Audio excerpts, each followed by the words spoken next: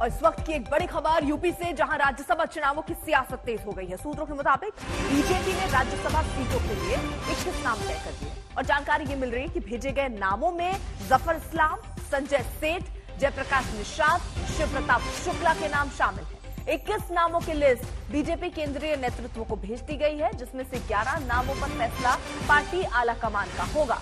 सबसे अहम जानकारी ये कि बीजेपी की 21 नामों की लिस्ट में किसी भी सहयोगी दलों के नेता का नाम नहीं।